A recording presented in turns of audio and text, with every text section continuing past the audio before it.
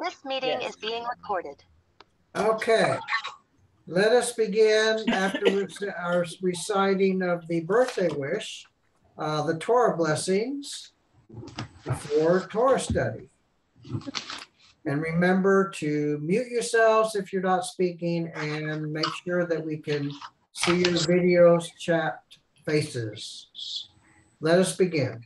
Baruch atah Adonai, Elohim melech olam, asher asher quittanu b'mitzvotav, tzivanu v'tzivanu lahadlik ner, v'at Blessed shirah. are you, Blessed are you, Adonai, our Our God. God, our God, Lord of the ruler of the world. world, This Let day, us sanctify guide us us with with your your commandments. commandments, To engage in commanded the us words to of engage in Torah. the words of Torah. Amen. Amen. Hey, Rabbi. Okay, can everyone hear me and see me okay? Yes. We are on page 113.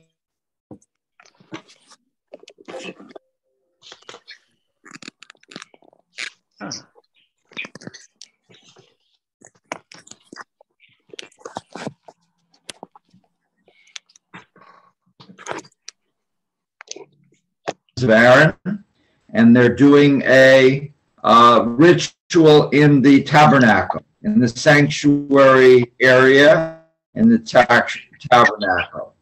And this go very wrong, and um, God executes them. And um, so the first question is, what were they doing and why? The second question is, why was that considered by God to be wrong? And the third question is, why the severe punishment?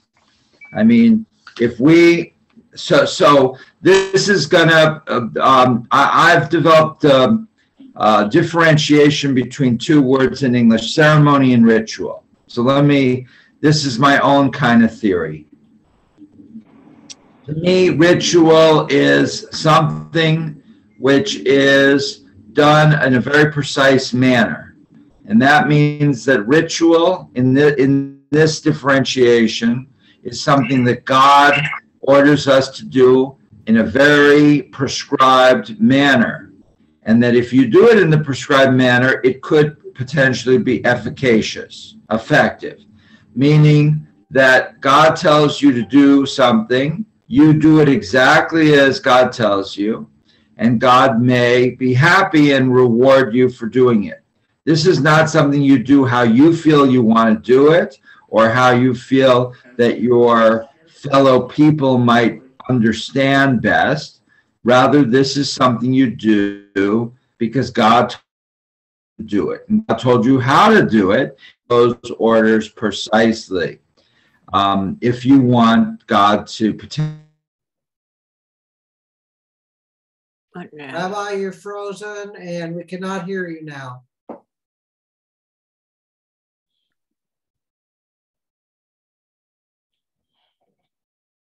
Can't hear you.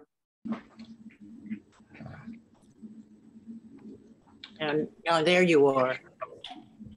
All right. Um, Now we hear you. We hear you now. yeah, but it comes in and out. That's what I'm Um, having problems too. All right. I need a second to regroup. I had to restart twice just now because of freezing. It froze. Rabbi, never when's your got your birthday? email, Dee. If I it's got soon, I your think I know what we have to get you. I just, this is a brand new, uh, a brand new computer. Well, Jeez. it's not your computer, it's Cox. Maybe you should have a conversation with Cox, I according did, to I their called bill. them Twice. They said there's nothing wrong. They always say that. They actually told me they had an outage in my area last week on Monday, Tuesday, Wednesday, and they gave me nine dollars and change because I had a fight with them about it. My Wi-Fi keeps going in and out, Me too. and I think Steve is having problems occasionally too. I I use thought it was- CenturyLink. You too? I thought of something wrong with my iPad. Maybe it's Cox. No, it's probably Cox. It is probably, yeah. I think the problem is because of the new cable they're putting in. No, it's not because of that. It's That's a whole new company. heard. It's the whole new company. It's got, shouldn't have anything to do with them. And it started before they did that. In Buckeye, we don't have these big city problems. You have, Well, Cox is the only one wired for my neighborhood. Yeah, well, yeah, they're rewired, they're putting a new company and I was just saying, uh, in this neighborhood in Sun City Grand. Yeah, there's, I don't know, the coaxial cable or whatever is, they're digging up everywhere here. Yeah, and we've got, there's road clo, you know, like lane closures throughout the neighborhood wherever they happen to be working. I, when I, I was out yesterday, I saw that the company itself has an office behind Walgreens off Bell, off Grand Avenue.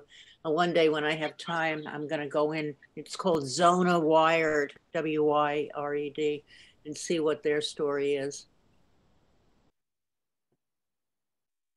If you have access to CenturyLink, they're amazing. That Sun City doesn't have such a relation. We have Yeah, access, but I've heard bad things about them too. They're good, All right. but I, you can't get them here. Well, yeah, I, I changed, I changed over from Cox to CenturyLink because of the issues I would have with them. Yeah, but could you keep your Cox email address? You can keep everything the same. Well, how can you It's keep your Cox email if you have a different company? Yeah, how can you? Um, they, everything was kept the same. Well, I didn't have a Cox email. Ah, have- Oh, well, that's the answer. yeah, you had Gmail Yeah, or they- something. Yeah. So everything was kept the same in my household personally, but it's just CenturyLink that the bill goes to now. I have to, I have a contract till October, and so I'm, t- in October, I'm gonna have to have the argument with them. You know, the whole hassle, like I, and threaten them, and then they bring it down. Where's the rabbi? There he is. He's just come back. Oh, He keeps disappearing. I gotta. Lorraine, we're, we're having technical difficulties with the rabbi's computer, so in case you're just come on, you understand now. Thank you. Hi, Lorraine. He's probably signing in on another device or something. He's been, he's been talking on one device and, and being visible on another. That's just what I do. I listen on my phone because it's, I can hear it better and I keep the Torah, the pages on my iPad at the same time. Okay, can you hear and see me now? Yes, Yeah, Yeah. Okay, Let both. me know, this is my old laptop and uh, we'll see if this works better. We hear you. Um, So could you, should I repeat what I'd started with? I think I should. Okay. so um, uh, today we're talking about Nadav and Avihu. These are the two sons of Aaron, and they uh, engage in a ritual. And there's no indication that they intend to do anything wrong. Can you hear me okay? Yes. yes. And uh, God is angry and has them executed or executes them. And so we have a series of questions. Number one is what what what were they doing exactly? Number two, why were they doing it? Number three, what was wrong with what they were doing? Number four, why did God punish them so severely? So um, I'm gonna just give you a concept that I've developed in one of my books, uh, which is I differentiate between ritual and ceremony. Ritual is done exactly the way God tells you to do it. You don't have a choice. You don't deviate. You do it the way God told you because that's what you're supposed to do. And if you do it properly, it may potentially be efficacious, meaning that it might actually help and God may reward you. If you do it wrong, God may punish you. That is ritual. In contrast to that, ceremony is the uh, modern idea that we do things, re- religiously speaking, to find meaning, for ourselves. So you don't have to do it a particular way, even if the Torah or the Talmud or whatever text describes how you should do it. This is only a guide. So, for example, our temple mantra, uh, um, or Louis, can't hear you can't hear me. You're breaking up. You're breaking up. On again, off oh. again. Yeah. My phone.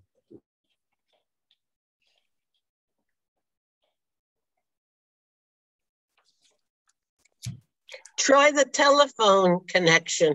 I think he is. He's frozen. We can't. Oh, there he goes.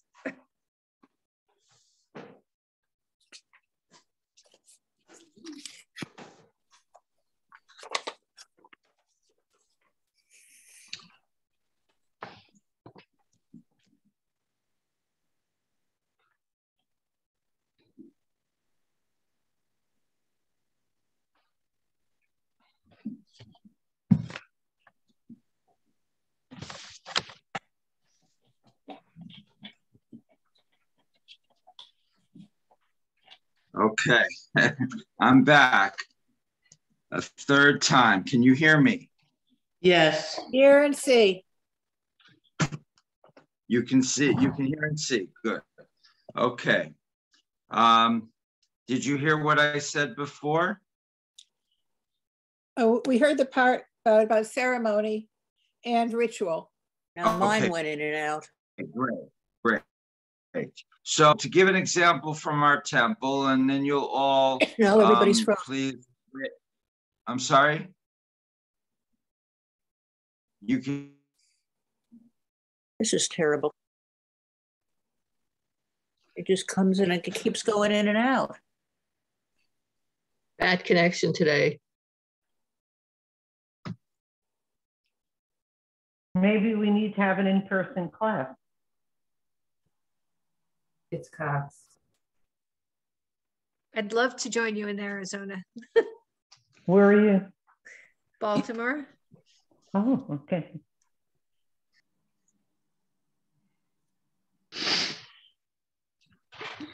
Rabbi, you still with us He looks like he's frozen. Yep. on the phone Is too? he, is he using his computer at home or the temple? Uh, he'll hold, but he's actually on his cell phone. Well, maybe it would help if he moved. Is the temple Wi-Fi any better? Mm, I I- coming I out. Is he coming? Gotta try that.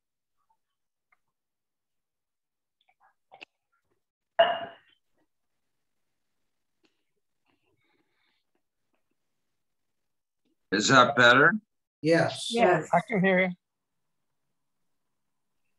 I'm on my phone, so it's through the, the AT&T rather than, rather than the, um, I'll, I'll, I'll try this way and hope for the best. I apologize. Not your fault. Um, so therefore, we have a ceremony. So to give an example from our temple, we do the Torah reading on Friday night instead of Saturday morning. The fact that halakhically in the Talmud it says you should read in the morning, we're not too concerned with that because we want people to hear the reading and we want to hear a certain amount that is useful and won't put them to sleep, but will inspire them. That's my definition of ceremony. But ritual can't be done that way. Okay, that's my opening statement. I'm sorry it was a little bit truncated. Um, do we have any uh, comments, res- brief comments or responses? Um, Nan or Lorraine or Ellen? Hello, Pam has her hand up. Okay, Pam. I'm gonna get you on another phone. Hold on. Okay. um, so did Aaron's sons get a clear understanding that this was? Ray? Yeah. Hi, how are you?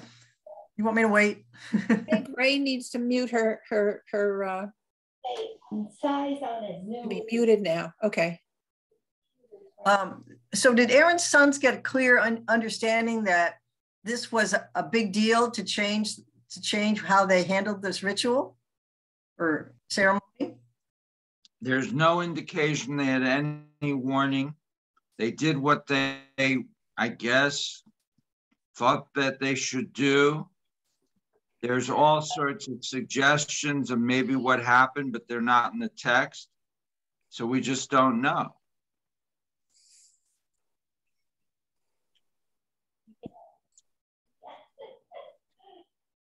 Um, Bernie, I think this is just another example of the interpreters trying to, to justify something that they really can't justify. Yeah, yeah. but you Um, don't see any merit in this process of trying to justify things that can't be justified? Like, I'd like to spin it in a positive way and say that the medieval sages are creative and trying to uh, explain away things in a good way. How is it a good way? Well, that's what I'm trying. I'm that's what I'm hoping you'll be able to help me to do. I can't, I'm sorry. I think they're just, it's a, it's a cop out. All right, Ray Uh, has your hand up. Ray. Um, well, I, the first thing that I felt about this, can you hear me? Yes. Hear and see you, Ray. I, had a very strong feeling that this was written, it says so in this script. It was written by the rabbis, not by, it was not part of uh, the temple um, uh, readings. Uh, and the rabbis uh, had this by uh, oral transition. And these were two young men who just stop and think of uh, being a, the child of a movie star. When you go out, everybody puts you up on a, a little pedestal. Teenagers are a, a different kind of human being. Uh, they think that they have arrived at knowing about the world. These two young men in the story go into this uh, Holy of Holies and light a pan for fire. If they were helpers, the only person who would go into that Holy of Holies was the high priest to light the fire. The only other person was Aaron. For if the story is true, they certainly should not have been going into the Holy of Holy on, uh, on their own. So they were a couple of arrogant young teenagers. And uh, this story was all devised in the time of the rabbis. Uh, so I think the seriousness of it is greatly uh, reduced. Uh, but the, the, sto- uh, the story, the thing they're trying to teach us is arrogance. We cannot be arrogance, arrogant. And young teenage, uh, especially boys, I think, can be pretty arrogant. Oh, uh, okay. Especially boys. Uh oh. Um, but but um, this Ray's pointing out a very serious problem that um, we could call this midot or musar. You know that a Jewish approach to character traits is so important, and in this case, arrogance.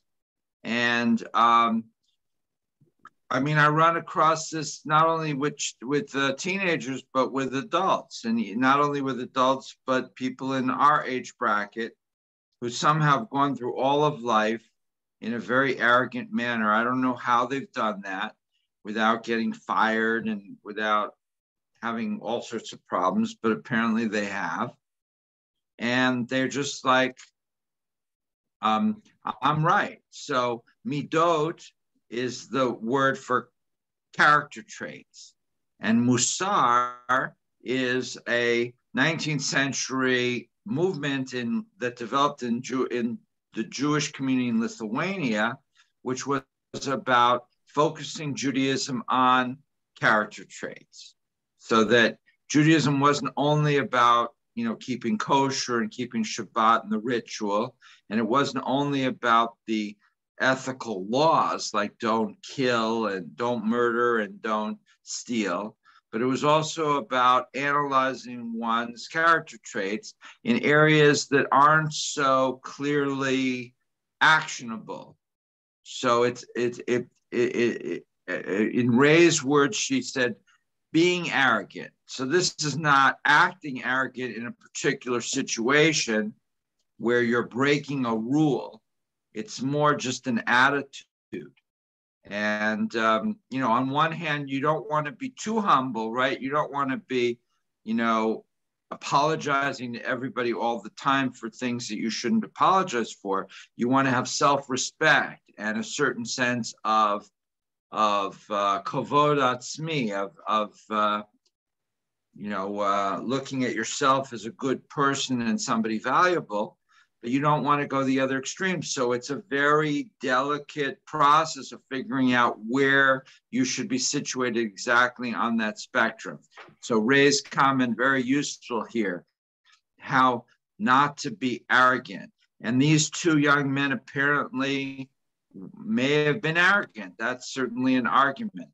Bernie, does that make the rabbinic justifications for what happened more justifiable if we're dealing with character traits?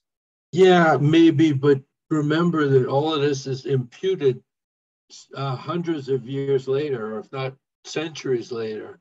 I mean, if not more than that, millennia. Um, all of this stuff that's written in here, other than that they, they did what they did and they got killed for it, the rabbis put their own spin on it, and they weren't around at the time. I mean, the rabbinical period is what, a thousand, fifteen hundred years later than uh, than the, than this action?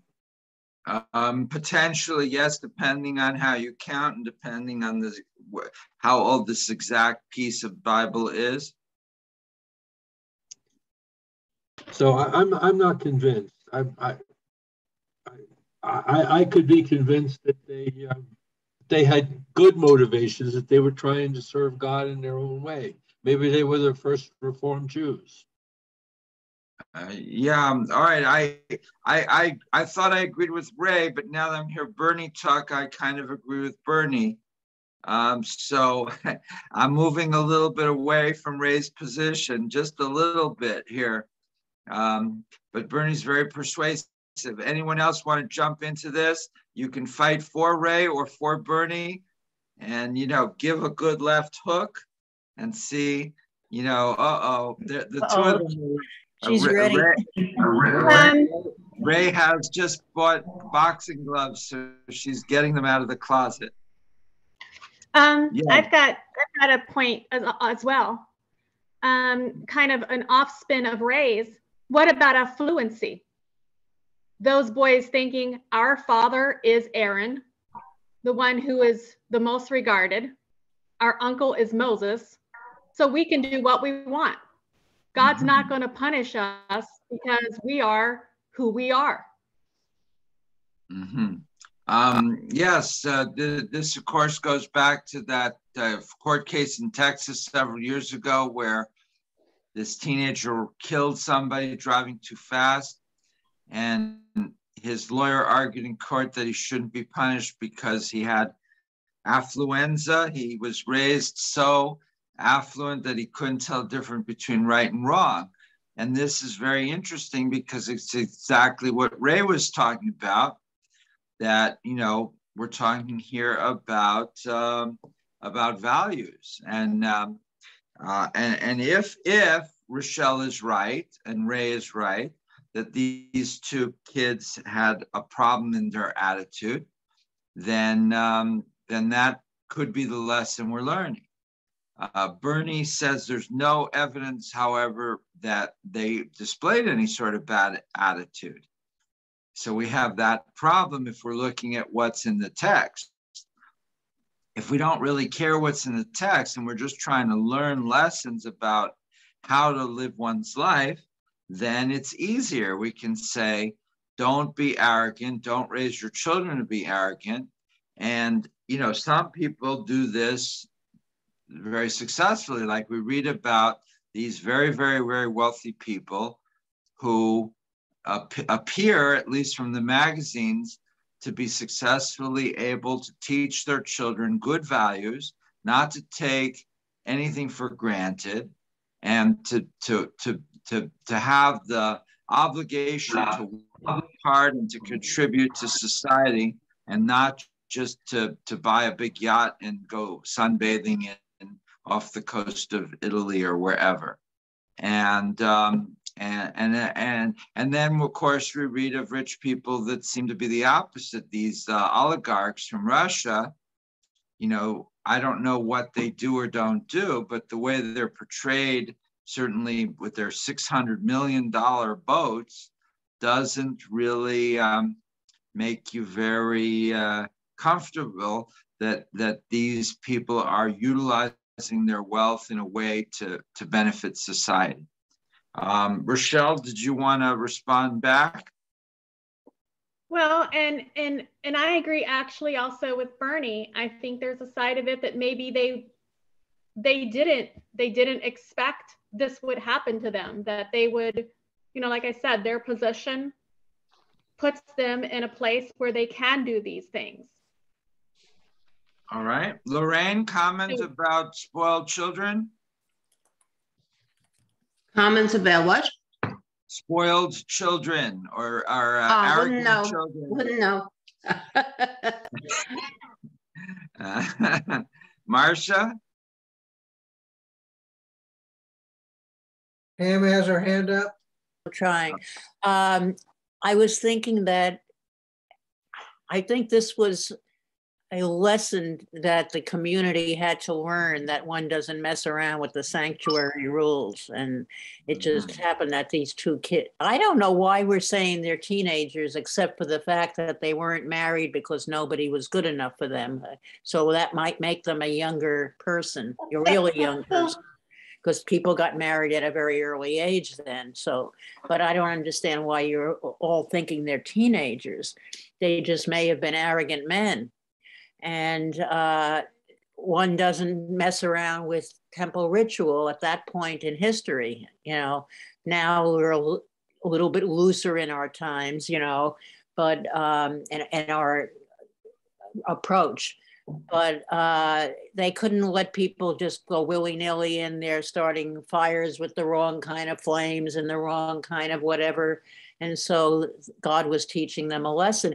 Actually, a little further on, it says they actually got warned by God uh, and they were told to back off and they didn't. It wasn't just like, oh my God, they lit the fire and boom, that's it, dead. They were warned by God not to do this. And uh, and I think at that point they were being punished because somebody had to be punished, and they happened to be the ones that came along and did this uh, illegal act. Okay. Okay. Um, uh, response, Ellen, Nan, Ellen.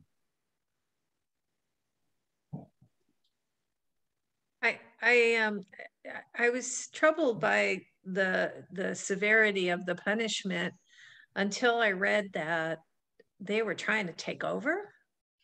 And it's possible that they were, um, you know, they wanted to be in charge. So maybe it's like succession. You know, it's like this internal family war that's going on. We just don't know about it. But it just seemed like a very harsh punishment for burning incense. So if Putin's uh, Putin's sons wanted to take over, would that be a bad thing? I mean, you know, sometimes the older generation needs to move to Sun City and take up golf, and let the uh, let the younger generation run things. No. It depends, like everything. Okay, Bernie, what, do you think that Ellen has a point there? No, I don't know, because I, I think some of the comments here are confusing what, what is purported to have happened and what the rabbis interpret later on. And they've developed this whole scenario about them plotting to take over from the old man and, and et cetera, et cetera. And, and I'm having a hard time reconciling that with what's actually supposed to have happened. Now, Bernie is really, I think, here almost a Karaite. So he is saying the Torah is what's important, and what the rabbis say is not important. In, in the rabbinite culture, there's no difference. What the rabbis interpret the Torah to mean is what the Torah means. It's all one. And so there's a fluidity of interpretation that flows backwards. What the rabbis say about the Torah is what it is. Okay. Who um, appointed the rabbis to be the, the arbiters of, of yes. And this is a this is exactly what the Karaites said in uh, the eighth, ninth, tenth century. They said Judaism is the Torah. The rabbis may be interesting interpreters and may not, but they have no authority. You can't just reinterpret a story like this out of whole cloth with no evidence from the text and just say, as Ellen says, that the um, that the um, you know that the, the these two young men or old men or whatever they were were trying to rebel against Aaron and Moses unless it's written in the text. And um, the rabbis would say that's our interpretation, and our interpretation is not only valid but is authoritative. And if Bernie was living in a rabbinical society, the rabbis would punish him. They'd say, you, You're a heretic. You're, you're not accepting the rabbinic interpretations, which is the authoritative interpretations. And we're going to send you on a boat and send you off to America or something like that. you can't stay here in Poland with us because we because you don't accept the whole validity of our interpretive tradition. Okay, who's first? Um, um, Steve, can you help me here? Pam um, first, and then uh, let's see, B. We also have Cy and D, and I think there was another hand up too. There were a lot of, and Pam. And Rochelle. Okay, so Steve will give the order and you all speak one at a time. Pam first. Um, I think rabbis came up with that thing about how it was really an insurrection and not a ritual thing, just to try to because they realized the the punishment was way over the crime, and I think it was a rabbinical way to explain why they, um, you know, capital punishment for doing this is ridiculous. So I think that's what happened. It's just the crime did not, the uh, punishment was overboard. Okay, so the punishment was overboard. They had to come up with a justification for it. But why do you think the punishment was overboard? From a biblical point of view, Pam, what what what was what was going on? Wait, couldn't they just say, "You guys messed up. Never do that again"? well, but they didn't. God did. God said, "I'm going to kill them," and He just killed them. Why? I I can't come up with a good reason why they deserved they deserve that punishment. I mean that that's that's the problem is that there doesn't seem to be any explanation why they should have been executed. Mm-hmm. And as as we've already said, they're not just anybody, they're two of Aaron's sons. Therefore, they're the hereditary line of the priesthood. So you don't want to just kill off your main priests. Yeah, I, I, I can't, I can't, I can't justify it. I just not seeing it. Okay, who's next, Steve? B. I think what bothers me the most about this story is it feels like it was pulled out of the air. There's no background for it. We don't know anything about these young men or old men, whoever they were. It just seems to be pulled out for a reason, maybe to for God's power or whatever, but there's no background. It's just Mhm. a story that seems to come out of the air. And I Yeah. can't justify any of it. Yes, and we can't really explain it because we don't have enough context to do so. Okay, who's next? Guy, Well, I would like to think that there's a, a certain amount of progress has to be made. And if the rabbis who are reading the Torah and not making changes, uh, I think that's a, a terrible situation because uh, we would still be uh, in the status situation of uh, 3,000 years ago. And that's not what progress is about. If we all thought and did uh, what our ancestors uh, did, you know, where would we really be? I think that the, the people have to generate new ideas and have to perform on those ideas. Mhm.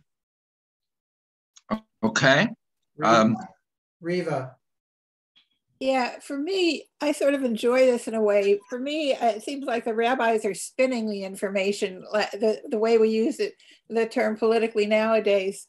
Also, on the right hand side, right bottom side of page 113, we've got Rabbi Levy, and I don't know when this Levy lived, but um, he talks about arrogance as the motivation. And that uh, the two, two young men brag that no woman was good enough and that they're in, insensitive to take advantage of women fe- women's feelings, raising their expectations and hopes for a serious relationship, but they had no intention of marriage. And so that reminded me of what we now call players. And in an earlier age, they were they were called either Don Juan or Don Giovanni, or Casanova. or Casanova will work. I have a friend whose cat is named Casanova. Um, but uh, um, he's creating a cat channel, so Casanova may become a very famous cat soon. Um, the uh, and, there's a new movie out called the or new documentary on Netflix called the Tinder Swindler about an Israeli from a poor family who claims that he's the son of of Lev Leviev, who's a Russian Israeli billionaire diamond merchant. And he goes dating these women, uh, most of whom are seem to be Scandinavian, and you know, picking them up in his private jet and you know, looking like he's a billionaire. And then he eventually says somebody's trying to kill him and he can't use his credit cards and he gets them to spend all of their money, you know, to give him, and then he just disappeared. And he did this apparently, according to the documentary, uh, a, a number of times. And um, you know, and now he's back in Israel, and he spent very little time in prison. And um, it's uh, if it's true, it's just really, really unbelievable. Okay, Steve, you can pick the next person. Ray, Is that me? yeah, Yeah. Yeah. Well, ac- ac- according to what I have always heard about the Stato, is that the, the, the um, young men who were good scholars and the old men would sit in the synagogue and discuss every line of the uh, Torah and try to interpret it. And they would call it pilpul, you know, being uh, uh, well, it, every word is very important and there's a reason behind it. And they interpret all the time. And the other th- uh, thing that you would hear is that if there were three Jews on a uh, deserted island, there would be three synagogues. So you're going to get three different kinds of Judaism. Um, Ah, The I- I version think- I heard of this is there's one Jew and two synagogues. Uh, so, um, and another thing is there's there are some terrible um punishments. Uh, uh, um, Jacob almost got killed by his father. Samson just pulls down some pillars and bango, he's gone. These are all very dramatic uh, endings of uh, uh, uh, stories. Um, and there's a, a, a, there is a different interpretation by our rabbis about Isaac and his son. And um, uh, I, remember in astonishment being in a Torah class some years ago and learning that uh, the modern thought is that Samson never lived. So, but that story is one um, that says don't marry out of your faith, which has a lot of validity. So, where do I stand with four non Jewish daughters in laws? I wouldn't change one of them. They make my family happy. And I wouldn't force them to convert because you have to want to convert. And then you really make it. So yes, it's it changes. It changes. Um, thank you, Ray. Um, Bernie, does Ray's argument here hold any water? The idea that this type of intense reinterpretation process is an intellectual exercise, and that by taking a story like this and coming up with all sorts of creative eh, reinterpretations that are not in the text and are not even hinted at the text, that this is part of the secret of Jewish intellectuality, which contributed so much not only to making Judaism an interesting religion, but to contributing all sorts of knowledge to the world in science and so forth. My head is starting to explode. Uh, we, we do have to remember that the, the time frame in which this was supposedly happening, and, and I'm sure that there was human sacrifice among the other uh, people nearby. So it's, it's not a, a stretch to, to offer something like that in our story as well.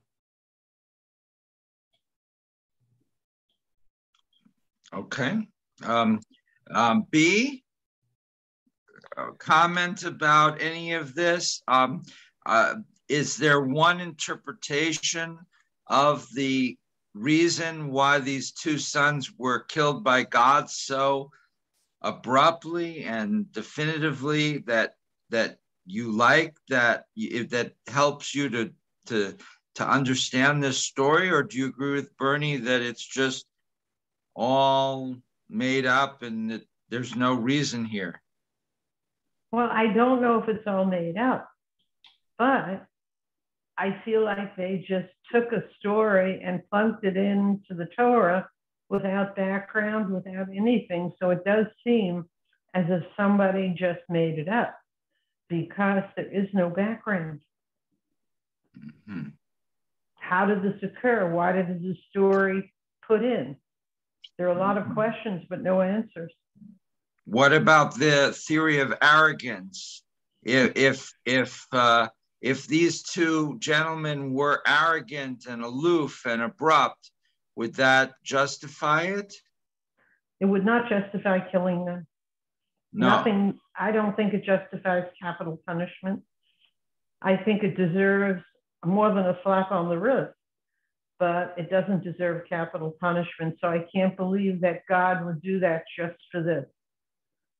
I thought we had a loving God, and I think there had to be more reason than just their arrogance, and it's not explained. Okay, well, that's pretty clear. What Rochelle, back to you. Um, I just like to say I think that this story is one that keeps me in line. Whether whether whether it is something that is proverbial um, or whether it is an actual act, uh, or excuse me, an actual, you know, event, it keeps me in line. It, uh, it makes me know that yes, we do have a loving God, but we also have a God that at any given time can open the ground and swallow me up.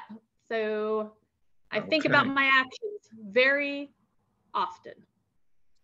Um, uh, Babette, would you agree with Rochelle that the idea that we, that there's a God up there who's not only all powerful, but perhaps capricious and could punish you for something that might be seen as minor, like taking an extra half percent on a commission or something when no one's looking?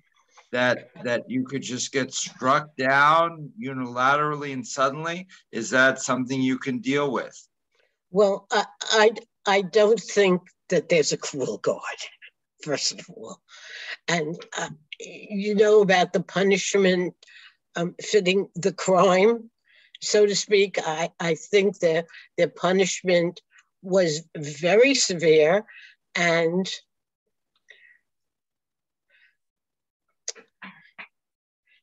it, it's hard to say that if you don't obey my commandments, you're not going to be on the planet, you know? I, I So- think there could be other other ramifications. You, you know, uh, uh, it, it's beyond. Um, I I think we as, as Jews feel. You don't get the death penalty.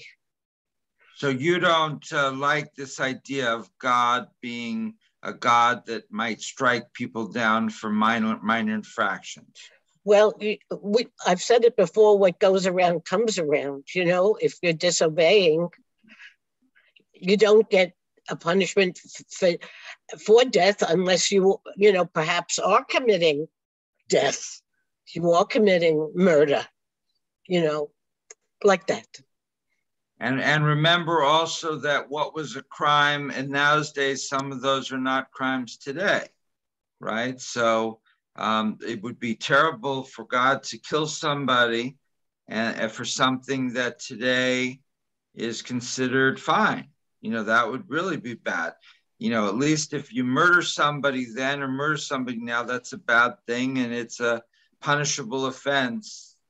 But what if you are punished for something that's no longer a crime now? That would really be the pits. Sai, did you want to talk? And then if Steve wants to say something after that, I don't find it difficult at all to accept the fact that God would do what he did only in that point of time.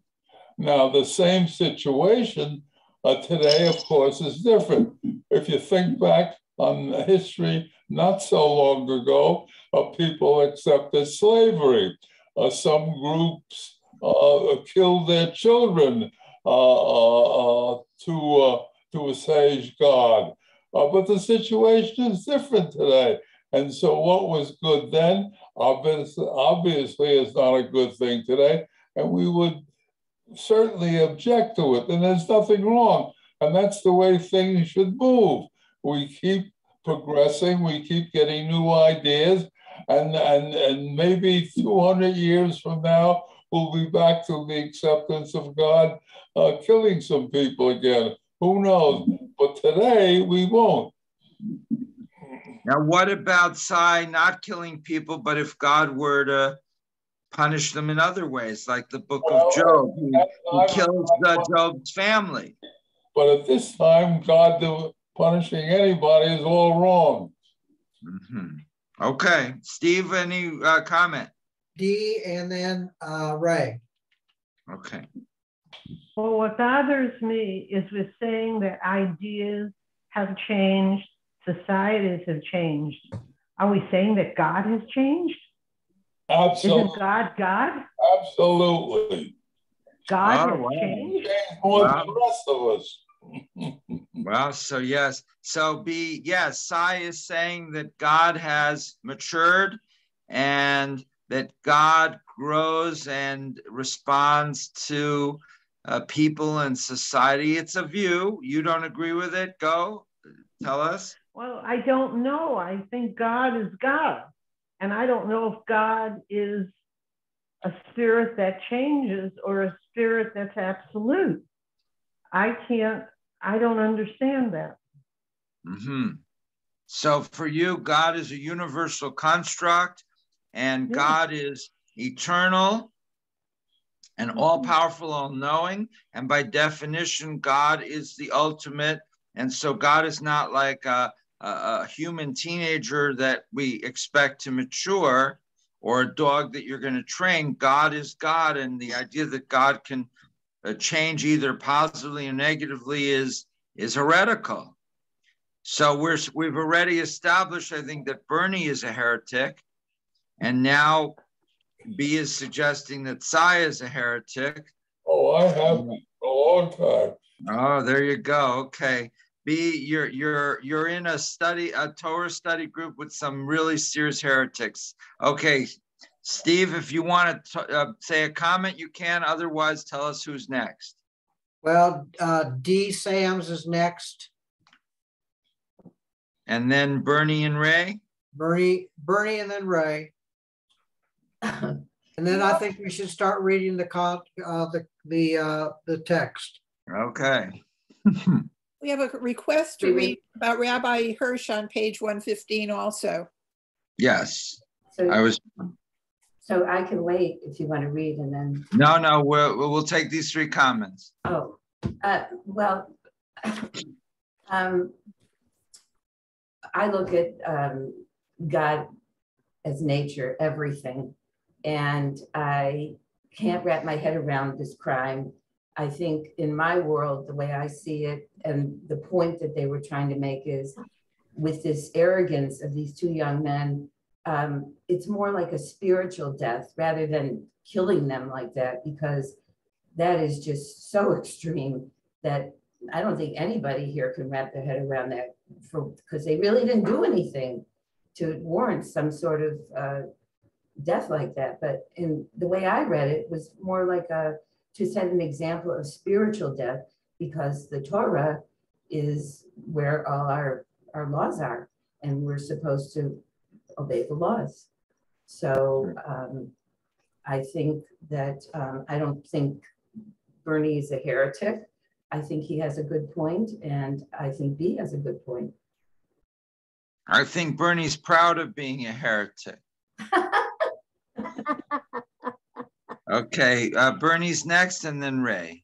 You know, we've been talking a little bit about whether God is, has changed over time. I can think of three Bible stories where God is very inconsistent. Um, Sodom and Gomorrah, where he just after after we couldn't find ten righteous people, killed two cities, and then drowned the whole world in the story of Noah. But in the case of Adam and Eve, when they uh, ate from the forbidden fruit, they were just kicked out of the garden and nothing more happened to them.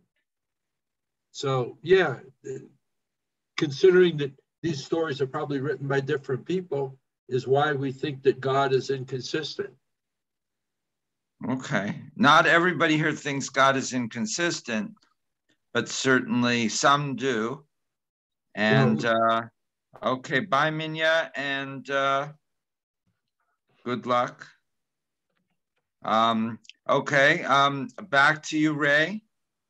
Well, uh, in my readings of uh, how religion began, I took a course of, in it um, when I was uh, uh, in my teens, just in, in early college. Uh, it started with fear and awe over um, lightning, thunder, heavy rains, all the all these things that affected um, er, earlier uh, man. Uh, so I think maybe the religions through uh, their development all had a um, an element of fear of what would happen if you did not stick to the rules. And maybe that's part of these far out stories, just to make us have some fear and awe and oh i can't do that it's uh, in the bible i can't do that Okay, fear. yeah So you, if it's uh, in Hebrew, the word is yirah, and it's one of the basic ways that you uh, keep people in line through religion. You know, the Southern Baptists who say, if you don't do what I, the the priest, uh, the minister says, you don't do what I tell you, you're going to burn in hell for all eternity. So it's a, a way to inspire fear, and and and and certainly you needed it because look at how the Israelites were behaving at the giving of the Torah at Mount Sinai. They're building a golden calf. So if you can frighten them into doing the right thing, maybe that's necessary. All right, let's let's look. Um, I think Riva's suggesting that we start. We're not going to obviously read the whole thing. We had a a little bit of a delayed start because of my tech problems. And then we've had a very interesting opening discussion. So let's go toward the end. It- And it was- on- I'm sorry, it was Pam who brought it up. Okay, Pam. So let us look at page 115. And I, uh, but instead of starting with Samson Raphael Hirsch, the founder of neo neo orthodoxy in 19th century Germany, I'd just like to start at the top of the page with Naphtali Hertz Wessely. Now, Wessely is a early maskil. A maskil is a German Jewish Enlightenment thinker, um, but it's at the very beginning of the Enlightenment, so he's going to be a little bit careful what he says, but he's going to try to be enlightened, but very gently so. Who'd like to read page 115 in his reflections on Nadav and Avihu?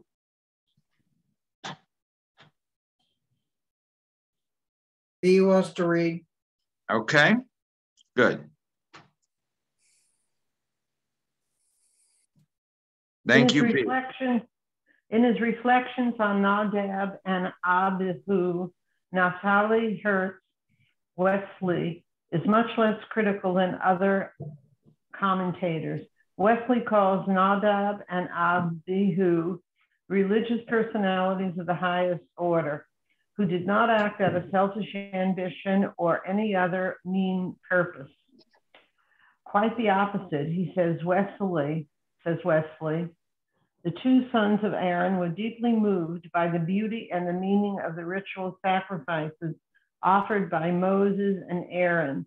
In their enthusiasm and joy, they lost their heads and entered the Holy of Holies to burn incense, something that they had not been commanded to do by Moses. Their wrongdoing, Wessely argues, was not the deliberate breaking of the law, but rather their failure to control their religious enthusiasm.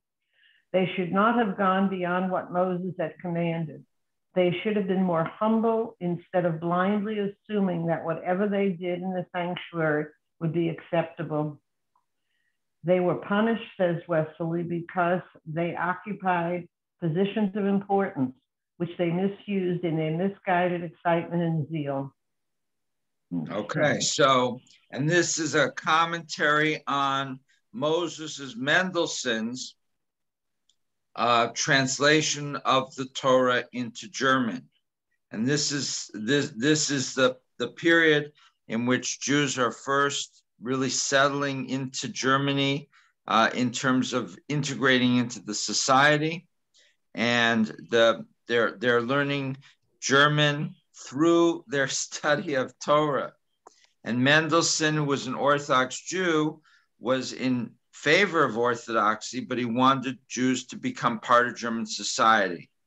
You know, and but it, it, it didn't really work out the way he wanted to. All of his grandchildren were Christians, and um, and Mendelssohn, if anything, is seen as the the the intellectual forefather of Reform Judaism, if anything.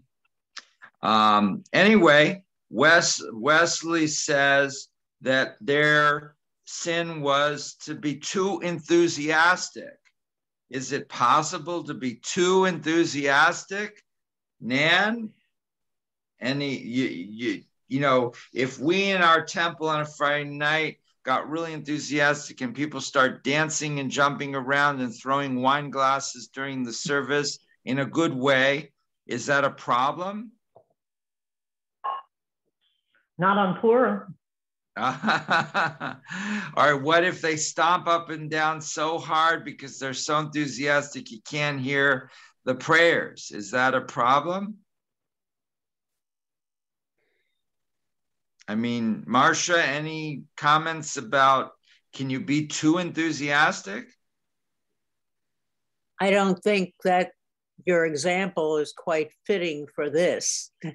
This, this was approaching into the sanctuary, and over the last few years, over and over, they've been told, do not go into the sanctuary unless you're wearing the right clothes and you're carrying the right stuff, and on and on and on. And then these two guys say, Hey, our fathers are getting old. We're going to try practicing messing around in there.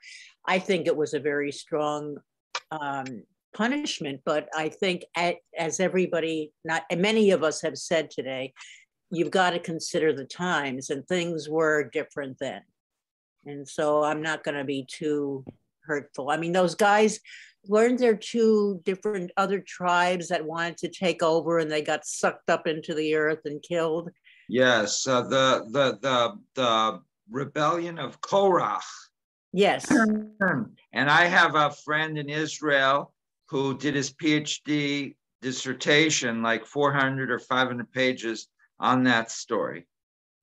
And um, so that was a similar you know, ambition to take over uh, Moses and Aaron's position at that right. point, and they got sucked up.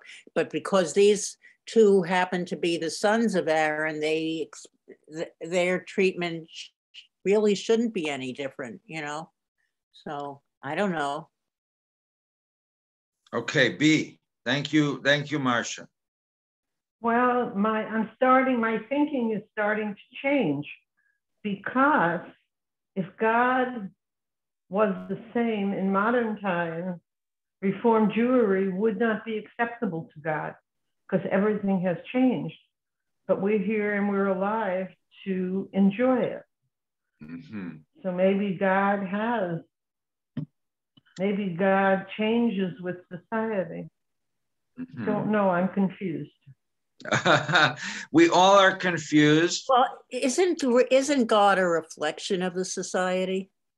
Well, that that's a that's a hmm. subjective comment. Maybe Bernie would Bernie might agree with that, but uh, Riva might not.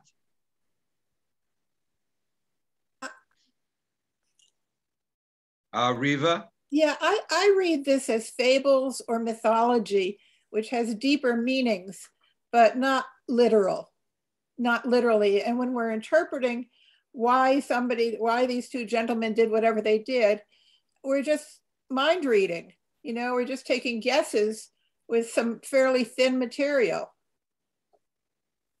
So you're supporting Bernie here and saying that we're really um, not only on thin ice, we're on no ice at all. And you can't interpret things unless you have evidence on which to base it on.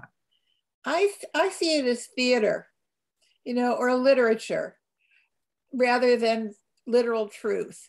But, but I yeah. think, you know, I think those things often have deeper meanings that are important. So I think the messages are important, but you can't take it a lot of it literally. And it certainly okay. changes over time with with who who's doing the interpretation because they do it within the context of their period of time and their culture. All right, so you you are more so you're more sympathetic to what the rabbis are trying to do, provided that we understand that it's symbolic um, or right. these are metaphors. These are not, we're not historians trying to determine what actually happened, which is possible by Nan.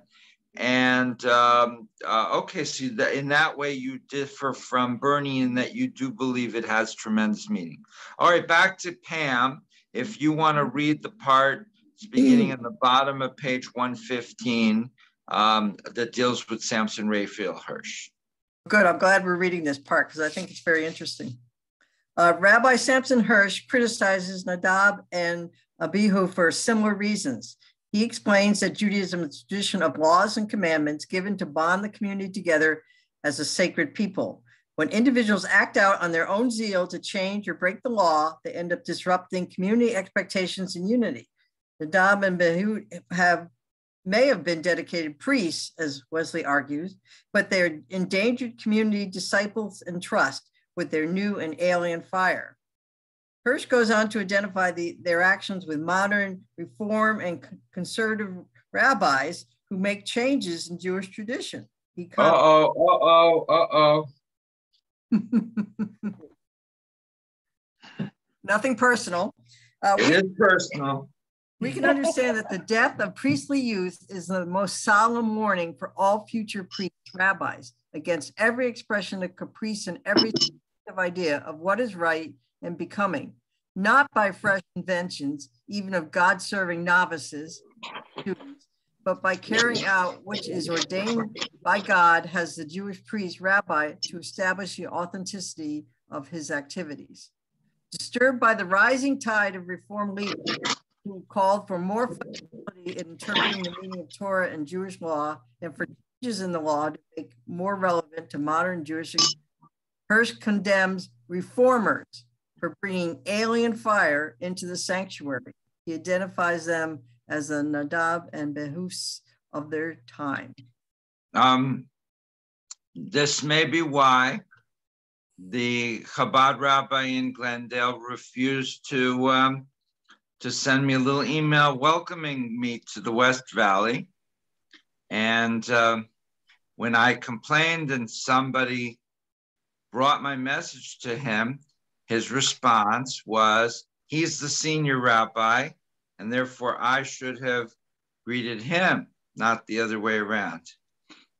Uh, uh, which obviously is not true because if you're new, if you move into a new house, it's the neighbors who've been living there that greet you, not the other way around.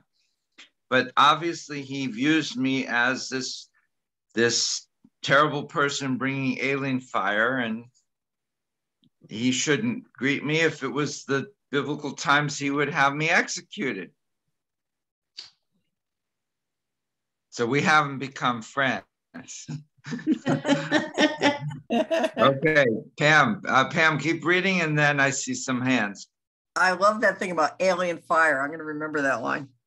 Uh, Reform and conservative Jewish leaders would defend themselves by pointing out that the Jewish law has never been static, inflexible, or resistant to change.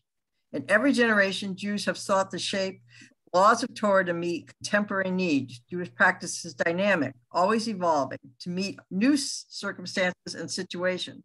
Instead of being Nadab and Behus reformers, reviewed themselves as carrying on the Torah traditions of Akiba, Hillel, Maimonides, and Rashi by reverently reinterpreting and expanding the meanings and relevance of Torah. Having surveyed a variety of observations, we are left to decide why Nadab and Behu were punished. Was it ruthless ambition, uh, arrogance, insensitivity, or the failure to consult others and honor elders? Was it youthful zeal, blind faith, the failure to realize the dangers in changing rituals and practices of a community? As we have seen, Jewish commentators see in this sad tale significant ethical and social lessons that continue to challenge Torah interpreters today. All right, Pam. So, what did you make of this section of Samson Raphael Hirsch? Well, I am I'm no longer a Hirsch fan. uh,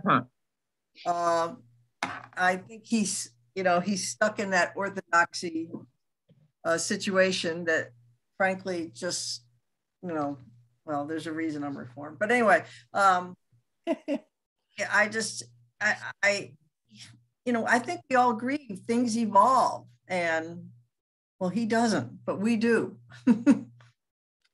so. Can you understand why he would think the way he thinks? Well, he's resistant to any change. And I think that's not, you know, that's not realistic in religion. Um, hmm. Okay. Um, so religions have to change over the course of time. So, um, Okay, let me just give you an example. On our class, Yeah. we talk about homosexuality right. and how religion has a has uh, related to that, and we've agreed that it, you know, people's feelings in the religious world has evolved on that subject. for our minds, but not in Iran. In Iran, they execute gay people.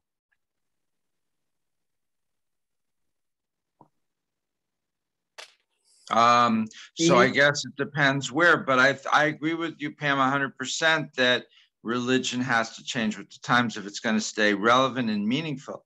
Rochelle. I think this brings up a great point that, you know, I wonder sometimes about Orthodox. Are they are they in the orthodoxy because this is their honest beliefs? Or are they there out of fear? Out of fear of what God would do to them. most of the people that I know in Orthodoxy are there because they like the lifestyle. So they they enjoy not driving on Shabbat and they enjoy being in a community where everybody comes to synagogue every week. They wouldn't want to be in a reform place where we have to be basically pulling people's teeth to get them to show up. And you know, it's it's hard when everything's optional and everything has to is is based on what is meaningful. It's hard to keep people motivated, and particularly less motivated people become even less motivated. So they enjoy it and they like. But if you ask them, do you believe in in the beliefs of orthodoxy? I don't think they'll want to say no i think it's completely bogus. They'll they'll say well i see it in a more you know metaphorical way or the, they'll they'll explain it away kind of in a, a yeah. Sorry rochelle back to you. Well, I think it just goes like um, as Pam was saying, and you know, as as everybody, Bernie has been saying, everything evolves. God created man physically to evolve. We have evolved. Everything in this world evolves, and not everything is for everybody. So God, in my opinion, we evolve with God or God evolves with us. And we, I think we kind of make that choice. And, you know, you can see people's lives whom either they don't have a God or they believe in God and they don't take the signs from God, that their life goes AWAR. But you see happy people they and God have got their thing going on. I've got my thing going on with God. What I do isn't the same as everybody else, but it works for me. It's my personal thing. And Okay. I think that when religion takes and encompasses, and there's all this forcing of all these minds to do the same thing all the time, I think that would anger God because you're not worshiping your to your potential. You're worshiping to the potential somebody else tells you to worship to. Does that make sense? yeah to me it makes sense but to an orthodox jew it would not so i guess it's all a matter of um, who you are and what your attitudes are right uh, other comments um, thank you Sam. rochelle uh, ellen or lorraine Dee Sams has had her hand up. okay d Um, well, I was going to make, um, speak about the Orthodox when you were talking, Rabbi. And um, my sister was married to an Orthodox man, and in no way did he feel that he had to do any of what he did. He did it because it was in his heart to do it. He had the desire to do it. So um, I think that um, these people, I worked for a very Orthodox dentist in Chicago. He was very happy uh, every day of his life because he felt what he was doing was the right thing. It doesn't mean it's right for us as Reform Jews, but I don't look at it as them being forced to do it um, and that God's going to be angry if they don't do it. I think they do it because it's their desire to do it and their choices to do it. Mm-hmm. Okay. He has her hand up. Be and Ellen. So can I speak then? Go ahead. Um, okay.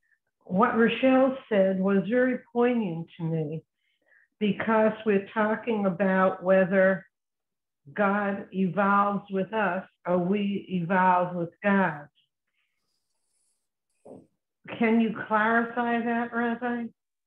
Does God evolve with how we are evolving, or do we evolve because God is evolving? I'm I'm confused. Ha, ha. Um I mean, we've done a series of courses a few years ago about God and this idea. Um, so at the end of our session today, I don't think I can give you a definitive answer on that, but there is a view there's many views of, of, of, of approaching theology or God.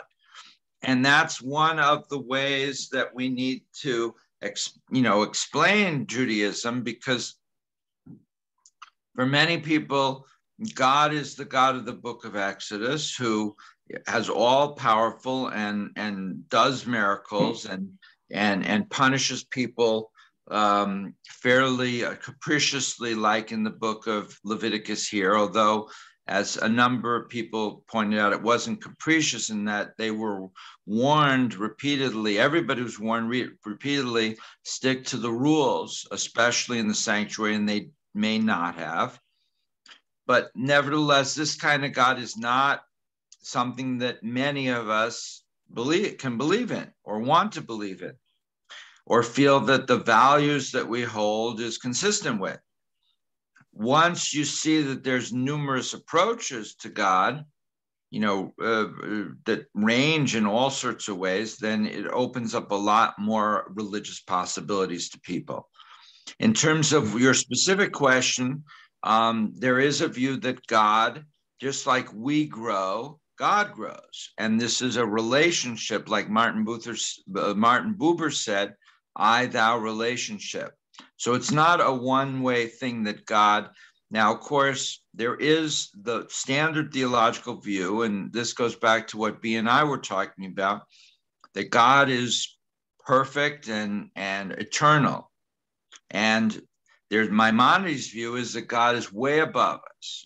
But there's another view uh, or other views that God is really not way above us, that God is like us in some ways, you know, but B'Tselem Elokim, just like it says in the book of Genesis, we are created in the image of God. And for this kind of interpreter, that means that just like we have emotions and we have we make mistakes and we try to improve, so too does God. And so as we uh, grow and hopefully mature, God grows and matures in sync with us. And so, and we in sync with God. So it's a relationship like a marriage. And this is this analogy is used in the in the Torah and the Tanakh, the book of uh, the Song of Songs, and so forth. Hi, okay, call you back? But this is something that you know could be you know talked about for hours and hours and hours, weeks and weeks. Ellen and then Rochelle. I don't see this uh, section as being about a relationship. I think this is more about us trying about when it was written, un, uh, people understanding that God wants what God wants. And, you know, good luck to you if you don't do that. So it's a control, it's a control thing. Okay. Um, but but the I guess the question that B was asking was in more general terms. Um, could we see God in in a in, in the sense that she was describing? And um, and I, I said yes. The, does is that w- uh, approach to a relation with God, you know, manifested in this story? Yeah, I agree with Ellen. No, but but you know, I, am not that concerned with this story. I'm concerned with my overall relationship with God, which is important to me. Okay. Um, who, Rochelle, I think, was next. Um, and I just want to say that, you know, I'm, I, I, maybe, maybe it sounded wrong. I don't want to say that there's, that I, I want God to evolve with me. I am extremely afraid of God, I guess, but what is right for me may not be right for other people. I feel that God governs us as individuals. And, and that's the whole reason that the reform movement went away from 10 different services reflecting 10 different approaches to God to a, a prayer book where it's one service and each prayer is a little bit different because we're felt that we can never please you know, you can't have a service with one theology. And when you've got a congregation, if you have 50 people there representing eight different approaches to God and another few people that don't have any idea what their approach to God is, any approach you pick is going to alienate more people than it's going to satisfy. So you mix them up in one service and you hope for the best. The, the weakness in that is that Reform Judaism really presents its theology through the prayer book. And if you read the prayer book, it's not consistent. And so it's not consistent because we're not, we may not even be consistent within each other, within one person. So the way Dee feels about God may not be the way she felt about God three or four or six months ago. But certainly, if you take a group of five or 10 of us you know we're all over the place religiously. And and even though we practice the same and we like this may like the same songs and hopefully we all like the rabbi it's still we have all sorts of different views about what god is. And some of those are stated and some of those are not. Um, other comments? Riva yeah two comments. One when we started off you talked about ceremony and ritual. And I was thinking in the context of ceremony that the temple offers us rich opportunities to do just what you described, do things religiously to find meaning in our lives. And so I think in that way that the temple is, supports us a lot. And then I was thinking in terms of Orthodox Judaism, and I, I have a family of Orthodox Jewish children and grandchildren, what I see that they have that I find beautiful that I would like to include in my life is they have a strong sense of community, a really powerful sense of community. And I think that is beautiful. And I think that's one of the reasons some people stay Orthodox because their community is enormously important and enriching to them. Yeah, and it's a much more intense community than anything we can create. Right, but I, but I think if we increase our sense of community, that's a good thing. Yes. Um, but when you don't drive and you live near each other and you keep kosher, it, it, it promotes much greater dependency on one another, which is good. Um, and, um, and maybe it's not always so good. I think we have to find in our own lives where the balance is for each of us individually. Okay, we have time for maybe one more uh, comment and then over to Steve. Hey, go ahead. See, as I see God in my life, I think of ways that I could be closer to God. And to me, it's good works. I climb, I'm always climbing the mountain to get close to God. That's what motivates me is feeling that good works and caring for other people is what brings us closer to God, caring for our fellow man. That's just a personal belief. Hmm. Very nice. Okay, thank you, B. Back to you, Steve. Hey, Riva, do you have some uh, announcements that you would like to make? No announcements today. Okay. Then let us conclude with the final blessing. Baruch atah Adonai. Eloheinu melech haolam asher natamanu et kai Baruch atah Torah. Blessed is Adonai our God, our God, ruler of the universe, the universe, who has given given us us a truth, implanting implanting in in us us eternal life. eternal life. Blessed is Adonai, Adonai, giver of the giver of the Torah. Amen. Amen. Have a good rest of the week, everyone, and uh, be safe. You too. Bye, everyone. Thank you. Again, happy birthday, Ray. Happy birthday, Ray. Happy birthday, Ray. Hey, Ray. Happy birthday, Ray.